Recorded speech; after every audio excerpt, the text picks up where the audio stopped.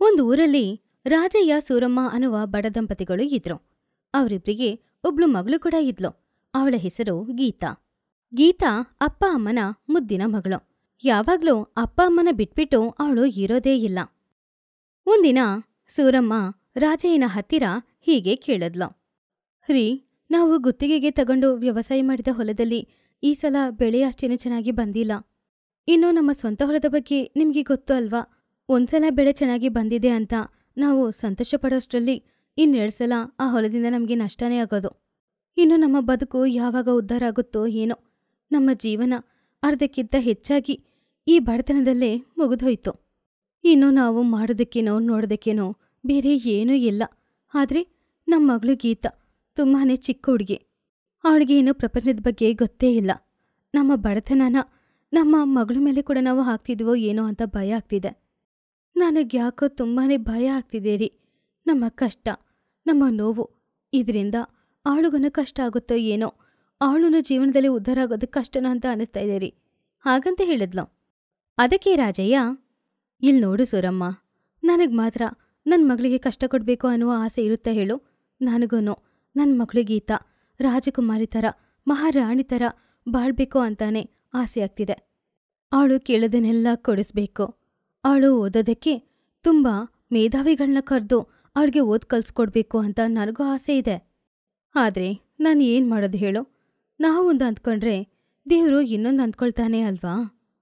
ಹೇಗೆ ಮಾಡೋದು? ನಮ್ಮ ಹತ್ರ ಇರೋದ್ರಲ್ಲಿ ಏನು ಮಾಡೋದು ಅಂತ ಆಲೋಚನೆ ಮಾಡೋಣ, ಹಾಗಂತ ಹೇಳ್ದ. ಹಾಗೇ ಕೆಲವು ದಿನಗಳು ಕಳೆದವು. ಹಣ ಸಂಪಾದನೆ ಮಾಡಬೇಕು, ತಮ್ಮ ಮಗಳಿಗೆ ಯಾವ ಕೊರತೆನೂ ಇಲ್ಲದೆ ಚೆನ್ನಾಗಿ ನೋಡ್ಕೊಳ್ಬೇಕು ಅನ್ನುವ ಆ ಜ್ಞಾಪಕದಲ್ಲಿ ಅವರಿಬ್ರು ಹಗಲು ರಾತ್ರಿ ಅಂತ ನೋಡದೆ ಎಲ್ಲಿ ಕೆಲಸ ಸಿಕ್ಕಿದ್ರೂ ಹೋಗಿ ಮಾಡ್ತಿದ್ರು. ಹಾಗೆ ಕೆಲವು ದಿನಗಳು ಕಳೆದವು. ತಂದೆ ತಾಯಿ ಇಬ್ರೂ ಮನೇಲಿರೋ ಸಮಯ ನೋಡಿ ಗೀತಾ ಅವ್ರ ಹತ್ರ ಬಂದ್ಲು. ಅಮ್ಮ ಗೀತಾ, ಏನಾಯ್ತಮ್ಮ? ಯಾಕಮ್ಮ ಬೇಜಾರಲ್ಲಿದೆಯಾ ಏನಾದ್ರೂ ಆಯ್ತಾ? ಊಟ ಮಾಡಿದ್ಯಾ? ಹಾಗಂತ ಕೇಳಿದ್ಲು ಸೂರಮ್ಮ. ಅದೇ ಅಮ್ಮ, ನಾನು ಇಷ್ಟು ದಿನ ಅದರಿಂದಾನೇ ಕಷ್ಟಪಡ್ತಿರೋದು. ನಾನು ಇದ್ದೀನಾ ಇಲ್ವಾ? ನಾನು ಊಟ ಮಾಡಿದ್ನಾ ಇಲ್ವಾ? ನಾನು ಹುಷಾರಾಗಿದ್ದೀನಾ ಇಲ್ಲ ನನಗೆ ಹುಷಾರಿಲ್ವಾ? ಇದ್ರ ಬಗ್ಗೆಲ್ಲ ನೀವು ಯಾಕೆ ಯೋಚನೆ ಮಾಡ್ಕೊಳ್ಳಲ್ಲ ನೀವು ಯಾವಾಗ ಹೋಗ್ತಿದ್ದೀರಾ, ಯಾವಾಗ ಬರ್ತಿದ್ದೀರಾ ಅನ್ನೋದು ಕೂಡ ಗೊತ್ತಾಗ್ತಿಲ್ಲ. ಯಾವಾಗ ನೋಡಿದ್ರು ನೀವಿಬ್ರು ಬ್ಯುಸಿಯಾಗಿನೇ ಇದ್ದೀರಾ? ಒಂದಿನ ಕೂಡ ನೀವು ನನ್ನ ಹತ್ರ ಇಲ್ಲ. ಒಂದು ಅರ್ಧ ಗಂಟೆ ಸಮಯ ನೀವಿಬ್ರು ನನ್ನ ಜೊತೆ ಮಾತಾಡಿ ಎಷ್ಟು ದಿನ ಆಯ್ತು ಅಂತ ನಿಮಗೆ ಗೊತ್ತಾ? ನಿಮಗೆ ಅದೆಲ್ಲ ಗೊತ್ತಿಲ್ಲ ಅಲ್ವಾ? ಹಾಗಂತ ಹೇಳಿ ಅವಳು ಜೋರಾಗಿ ಅಳ್ತಾ ಇದ್ಲು. ಏನಾದರೂ ಸಹ ಎಲ್ಲ ನಿನಗೋಸ್ಕರ ತಾನೆ? ನೀನು ಚೆನ್ನಾಗಿರಬೇಕು ಅನ್ನೋದಕ್ಕೋಸ್ಕರ ತಾನೆ. ನಾನು, ಅಮ್ಮ ಇಬ್ಬರು ಇಷ್ಟು ಕಷ್ಟಪಟ್ಟು ದುಡಿತಾ ಇರೋದು ಬೇರೆ ದಾರಿ ಇಲ್ಲಮ್ಮ. ಅದನ್ನ ನೀನೇ ತಾನೇ ಅರ್ಥ ಮಾಡ್ಕೊಳ್ಬೇಕು. ಹಾಗಂತ ಹೇಳ್ದ ರಾಜಯ್ಯ. ಏನಪ್ಪ ನನಗೋಸ್ಕರ ಅಂತ ಹೇಳ್ತಾ ಇದೀಯಾ? ನನಗೋಸ್ಕರ ಹಣ ಸಂಪಾದನೆ ಮಾಡಬೇಕು ಅಂತ? ಮನೇಲಿ ಇವಾಗ ಇರೋ ನನ್ನನ್ನ ನೀವು ಸ್ವಲ್ಪನಾದರೂ ನೋಡ್ಕೊಳ್ತಿದ್ದೀರಾ? ಸಂತೋಷ ಅಂದ್ರೆ ಹಣದಿಂದ ಮಾತ್ರ ಸಿಗಲ್ಲ ಅಪ್ಪ. ಹಣ ಅನ್ನೋದು ನಾವು ಬದುಕಕ್ಕೆ ಬೇಕಾಗಿದ್ದು ಅಷ್ಟೇ. ಹಾಗಂತ ಹೇಳಿ ಬೇಜಾರ್ ಮಾಡ್ಕೊಂಡ್ಲು ಗೀತಾ. ಮಗಳು, ಅವ್ರ ಮೇಲೆ ಎಷ್ಟು ಪ್ರೀತಿ ಇಟ್ಕೊಂಡಿದ್ದಾಳೆ. ಅವಳನ್ನ ಬಿಟ್ಟು ದೂರ ಹೋದ್ರೆ ಎಷ್ಟು ಬೇಜಾನ್ ಮಾಡ್ಕೊಡ್ತಿದ್ದಾಳೆ ಅನ್ನೋದು ಅವರಿಬ್ಬರಿಗೆ ಈ ದಿನ ಅರ್ಥ ಆಯಿತು. ಅಮ್ಮ ಗೀತಾ, ಬೇಜಾರು ಮಾಡ್ಕೊಳ್ಬೇಡ. ಇವತ್ತಿಂದ ನಾವಿಬ್ರು ಎಲ್ಲೋ ಹೋಗಲ್ಲ. ಕೆಲಸಕ್ಕೆ ಹಗಲು ರಾತ್ರಿ ಅಂತ ಹೋಗಲ್ಲ ಅಮ್ಮ. ಆ ನಿನ್ ಜೊತೆನೆ ನಾವೂ ಇರ್ತೀವಿ. ಆದಷ್ಟು ಕೆಲಸ ಮಾಡಿ ಹಣ ಸಂಪಾದನೆ ಮಾಡ್ತೀವಿ. ಸರಿನಾ ಮಗಳೇ? ನನ್ನ ಮುದ್ದು ಮಗಳಲ್ವಾ? ಆಳ್ಬಾರ್ದಮ್ಮ ಹಾಗಂತ ಹೇಳಿ ಅವನ ಮಗಳನ್ನ ಸಮಾಧಾನ ಮಾಡ್ದ. ಹಾಗೆ ದಿನಗಳು ಹೋಗ್ತಾ ಇತ್ತು. ಒಂದಿನ ರಾಜಯ್ಯನ ಸ್ನೇಹಿತನಾದ ಶಿವ ರಾಜಯ್ಯನನ್ನು ನೋಡಕ್ಕೆ ಬಂದ. ಏನ ಶಿವ, ನಿನ್ನ ನೋಡಿ ಸುಮಾರು ದಿನ ಆಗಿದಾಗಿದೆ. ಏನೋ, ಏನಾದರೂ ಕೆಲಸ ಇದೆಯಾ? ಹಾಗಂತ ಕೇಳ್ದ. ಅದಕ್ಕೆ ಶಿವ, ಆ, ಹೌದು ಕಣೋ, ಒಂದು ಕೆಲಸದ ಮೇಲೇನೆ ನಾನು ನಿನ್ನ ನೋಡಕ್ಕೆ ಬಂದಿದ್ದು. ನಾನು ಇವಾಗ್ಲೇ ಒಂದು ಕೆಲಸಕ್ಕೆ ಸೇರಿದ್ದೀನಿ.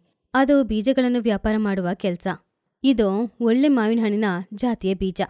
ನೀವಿಬ್ರು ಒಂದು ಎರಡು ವರ್ಷ ಆ ಮರಗಳನ್ನೆಲ್ಲ ಚೆನ್ನಾಗಿ ನೋಡಿಕೊಂಡ್ರೆ ಎರಡು ವರ್ಷ ಆದ್ಮೇಲೆ ಅದರಲ್ಲಿ ಕಾಯಿ ಬಿಟ್ಟು ಎರಡು ವರ್ಷಗಳಿಗೆ ನೀವು ಖರ್ಚು ಮಾಡಿದನ ಒಂದೇ ವರ್ಷದಲ್ಲಿ ತಗೊಳ್ಬೋದು. ಅದಕ್ಕೋಸ್ಕರನೇ ನಾನು ಬೇರೆ ಊರಿಂದ ಅದನ್ನು ತಗೊಂಡು ಬಂದಿದ್ದೀನಿ. ನಿನಗಿದ್ರೆ ಅದು ಸಹಾಯ ಆಗುತ್ತೆ ಅಲ್ವಾ?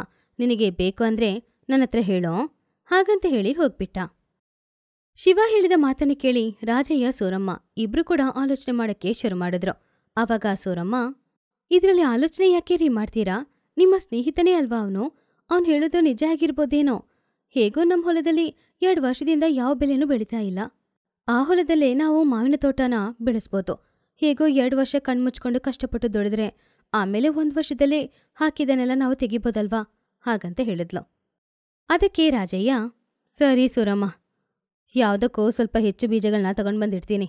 ಇನ್ನು ಸ್ವಲ್ಪ ದಿನದಲ್ಲಿ ಬೆಲೆ ಪುನಃ ಜಾಸ್ತಿ ಆಗುತ್ತೆ ಅಂತ ಹೇಳಿದೆ ಅಲ್ವಾ? ಹಾಗಂತ ಹೇಳಿ ರಾಜಯ್ಯ, ಸೂರಮ್ಮ ಇಬ್ಬರು ಕೂಡ ಕಷ್ಟಪಟ್ಟು ದೊಡ್ದು ಮನೆಯಲ್ಲಿ ಕೂಡಿಟ್ಟ ಹಣ ಹಾಗೂ ಅವರ ಮನೆ ಪತ್ರವನ್ನು ಕೂಡ ಅಡಮಾನ ಇಟ್ಟು ಆ ಹಣದಲ್ಲಿ ಹೋಗಿ ಬೀಜಗಳನ್ನ ತಗೊಂಡು ಬಂದ್ರು. ಹಾಗೆ ಬರ್ತಿದ್ದಾಗ ಮಗಳಿಗೋಸ್ಕರ ಮಾವಿನ ಕಾಯಿಗಳನ್ನು ತಗೊಂಡು ಬಂದ. ಆಮೇಲೆ ಗಂಡ ಹೆಂಡತಿ ಇಬ್ರಿಗೂ ಕೂಡ ಬೀಜಗಳನ್ನೆಲ್ಲ ಹೊಲದಲ್ಲಿ ಹಾಕಿ ಬಂದ್ರು. ಮನೆಗೆ ಬರುವಾಗ ಗೀತಾ ಅವಳದಿಂದ ಮಾವಿನಕಾಯಿಯ ಬೀಜವನ್ನು ಮಣ್ಣಲ್ಲಿ ಹುತ್ತಾಕ್ತಿದ್ಲು. ಅದನ್ನು ನೋಡಿ ಸೂರಮ್ಮ, ಏನಮ್ಮ ಮಾಡ್ತಾ ಇದೆಯಾ ಅಂತ ಕೇಳಿದಾಗ, ಗೀತಾ ಅವ್ರಿಗೆ ಈ ರೀತಿ ಉತ್ತರ ಕೊಟ್ಲು. ನೀವು ದೊಡ್ಡವರು, ಆದ್ರಿಂದ ಹೊಲಕ್ಕೋಗಿ ಅಷ್ಟು ಮರಗಳನ್ನ ಇಟ್ಬಿಟ್ಟು ಬಂದಿದ್ದೀರಾ? ನಾನು ಚಿಕ್ಕವಳು ಅದಕ್ಕೆ ಮನೆಯಲ್ಲೇ ನಾನು ಚಿಕ್ಕ ಮರನ ಬೆಳೆಸ್ತಿದ್ದೀನಿ, ಹಾಗಂತ ಹೇಳಿದ್ಲು. ಹಾಗೆ ಎರಡು ವರ್ಷಗಳು ಮುಗಿದೋದ್ರೂ ಕೂಡ ತೋಟದಲ್ಲಿದ್ದ ಗಿಡಗಳೆಲ್ಲ ಗಿಡಗಳಾಗಿನೇ ಇತ್ತು. ಅದ್ರಲ್ಲೇ ಅವ್ರು ಮೋಸ ಹೋದ್ರು ಅನ್ನೋದು ಅವರಿಗೆ ಚೆನ್ನಾಗಿ ಅರ್ಥ ಆಯ್ತು. ಅವರು ಮನೆಗೆ ಬಂದ್ರು. ಆವಾಗ ಗೀತಾ ಹೀಗೆ ಹೇಳಿದ್ಲು. ಅಪ್ಪ ಯಾಕಪ್ಪ? ನನ್ನನ್ನು ಯಾವಾಗ್ಲೂ ತೋಟಕ್ಕೆ ಕರ್ಕೊಂಡು ಹೋಗೋದೇ ಇಲ್ಲ ನೀನು. ನಾನಿಟ್ಟಿರೋ ಮರ ನೋಡು ಎಷ್ಟು ದೊಡ್ಡದಾಗಿ ಬೆಳೆದಿದೆ ಅಂತ. ಬೇಸಿಗೆ ಕಾಲದಲ್ಲಿ ಅದರಲ್ಲಿ ಕಾಯಿಗಳು ಬರುತ್ತೆ, ಹಾಗಂತ ಹೇಳಿದ್ಲು. ರಾಜಯ್ಯ, ಆ ಬೀಜಗಳನ್ನು ತಗೊಳ್ಳೋದಕ್ಕೋಸ್ಕರ ಕೈಯಲ್ಲಿಟ್ಟಿದ್ದ ಹಣ, ಆಮೇಲೆ ಮನೇನ ಕೂಡ ಅಡಮಾನ ಇಟ್ಟಿದ್ರಿಂದ ಅದ್ರ ಬಗ್ಗೆನೇ ಯೋಚನೆ ಮಾಡ್ಕೊಂಡು ಒಂದಿನ ಸತ್ತೇ ಹೋದ. ಅದನ್ನು ನೋಡಿ ಅವರಿಬ್ರು ಕೂಡ ತುಂಬಾನೇ ಕಷ್ಟಪಟ್ರು. ಹಾಗೆ ಪುನಃ ಅವರ ಜೀವನ ಕಷ್ಟದಲ್ಲಿ ಸಾಗುತ್ತಿತ್ತು. ಹಾಗೆ ಕೆಲವು ದಿನಗಳು ಕಳೆದವು. ರಾಜಯ್ಯನ ಬೆಳೆ ಪೂರ್ತಿಯಾಗಿ ನಾಶವಾಯಿತು. ಆದ್ರೆ ಗೀತಾ ಇಟ್ಟ ಮರದಲ್ಲಿ ದಿನ ಎರಡ್ಮೂರು ಕಾಯಿಗಳು ಬಿಡ್ತಾ ಇತ್ತು.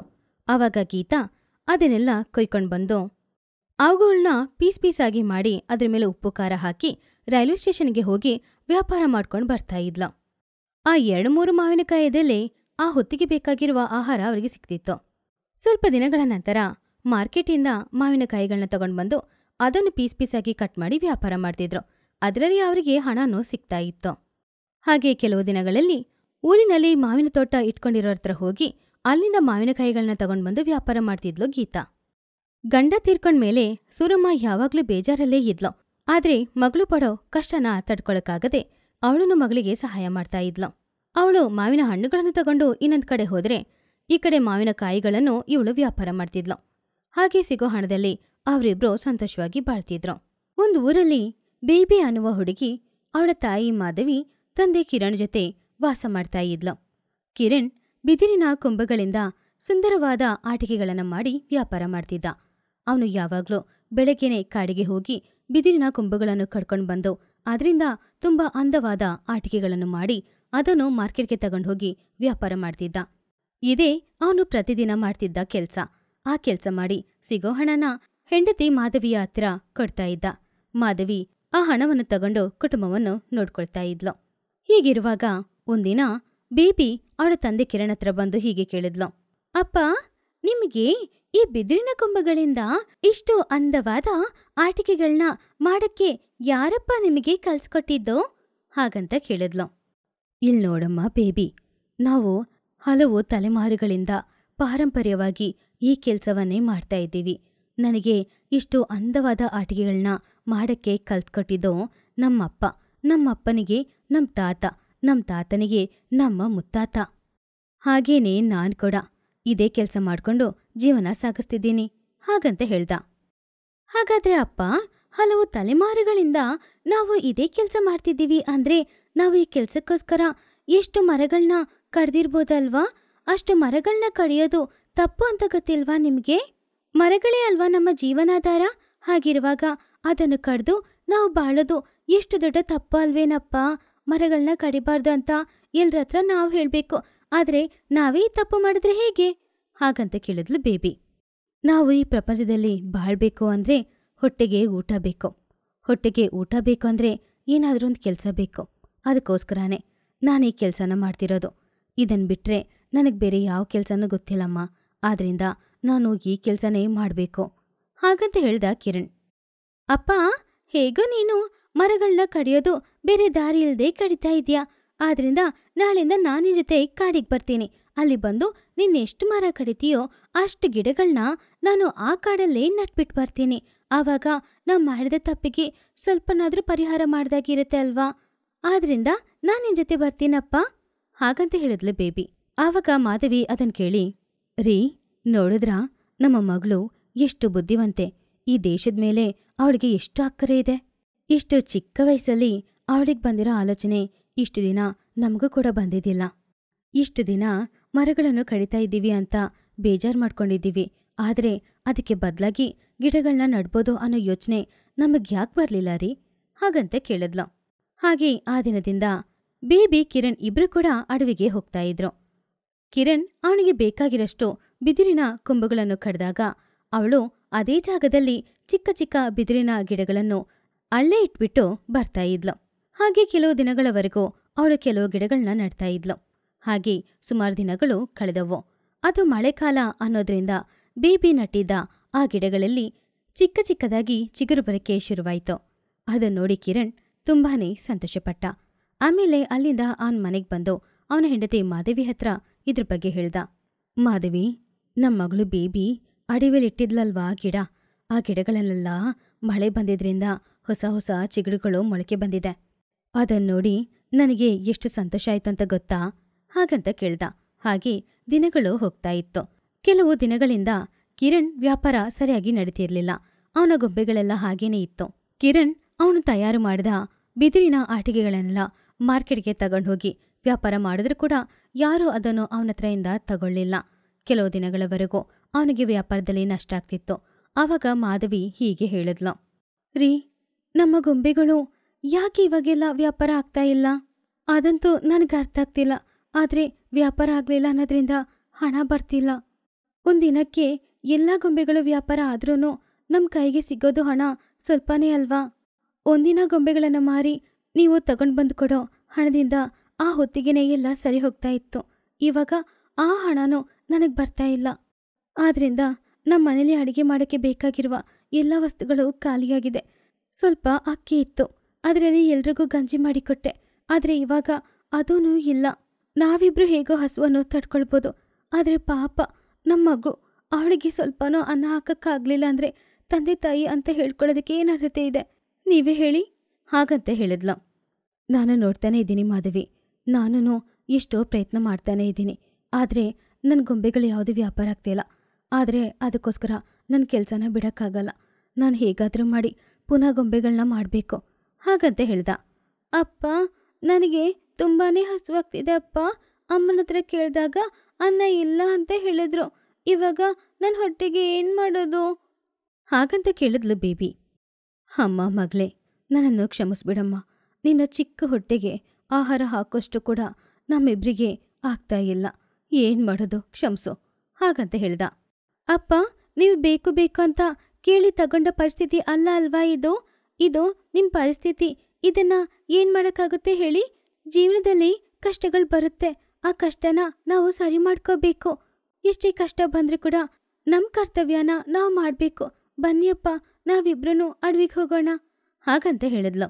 ಹಾಗೆ ತಂದೆ ಮಗಳು ಇಬ್ರು ಕೂಡ ಅಲ್ಲಿಂದ ಅಡವಿಗೆ ಹೋದ್ರು. ಅಲ್ಲಿದ್ದ ಒಂದು ಮರವನ್ನು ಕಡಿತಾ ಇದ್ದಾಗ ಆ ಮರದ ಒಳಗಡೆಯಿಂದ ಒಂದು ಚಿಕ್ಕ ಮಗು ಹೊರಗಡೆ ಬಂತು. ಅದನ್ನ ನೋಡಿ ಬೇಬಿ ಕಿರಣ್ ಇಬ್ರು ಆಶ್ಚರ್ಯ ಪಡ್ತಾ ಇದ್ರು. ಆವಾಗ ಅದೇ ಸಮಯದಲ್ಲಿ ಅಲ್ಲಿಯೊಬ್ರು ಸ್ವಾಮೀಜಿ ಪ್ರತ್ಯಕ್ಷವಾದ್ರು. ಇಲ್ ನೋಡಪ್ಪ, ಆ ಹುಡುಗಿ ಮಹಾಲಕ್ಷ್ಮಿ. ನಮ್ಮ ಆಶ್ರಮದಲ್ಲಿ ಅವಳು ಬೆಳೆಯೋದ್ಕಿಂತ ಒಂದು ಕುಟುಂಬದಲ್ಲಿ ಅವಳು ಬೆಳೆದ್ರೆ ಅವಳಿಗೆ ಬೇಕಾಗಿರೋದು ಎಲ್ಲ ಸಿಗುತ್ತೆ ಅನ್ನೋದ್ರಿಂದಾನೇ ಆ ಮಗುನ ನಿನ್ನ ಹತ್ರ ನಾನು ಕೊಟ್ಟಿದ್ದೀನಿ. ಆ ಮಗುನ ಜೋಪಾನವಾಗಿ ನೋಡ್ಕೊ, ಹಾಗಂತ ಹೇಳಿದ್ರು. ಕಿರಣ್ ಆ ಮಗುನ ಎತ್ಕೊಂಡು ಬಂದು ಮಾಧವಿ ಹತ್ರ ಮಗುನ ಕೊಟ್ಟ. ಆವಾಗ ಮಾಧವಿ, ನಮಗ್ ನಡೆದಿರೋದೆಲ್ಲ ಒಳ್ಳೇದೇ ರೀ ಮೊದ್ಲೇ ನಮ್ಮ ಮನೇಲಿ ತಾಯಿ ಸರಸ್ವತಿ ಇದ್ದಾಳೆ. ಇವಾಗ ತಾಯಿ ಮಹಾಲಕ್ಷ್ಮಿ ಬಂದಿದ್ದಾಳೆ. ಇದಕ್ಕಿಂತ ಸಂತೋಷ ಬೇರೇನಿದೆ? ಹಾಗಂತ ಹೇಳಿ ಆ ಮಗುನ ಅವಳು ಎತ್ಕೊಂಡ್ಲು